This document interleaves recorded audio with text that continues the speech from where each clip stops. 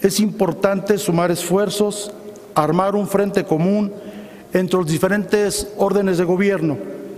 los poderes del Estado y, por supuesto, con la propia comunidad para ayudar a reincorporar a nuestros migrantes a una vida social y productiva. Las administraciones municipales debemos estar atentos para dar una gran bienvenida y facilitar esa reincorporación social, generando confianza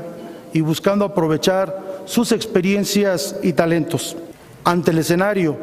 de que no todos los que vendrán son gente trabajadora, es muy importante destacar que el marco jurídico actual requiere de una adecuación en materia penal,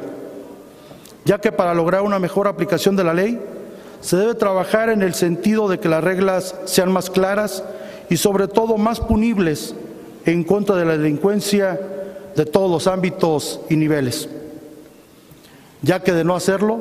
corremos el grave riesgo de que se sigan saliendo con la suya, esto es, dañando a la ciudadanía. Esto debe ser visto tanto del ámbito local como del ámbito federal. Trabajemos en garantizar la seguridad a los ciudadanos y no en el garantismo mal entendido a los delincuentes.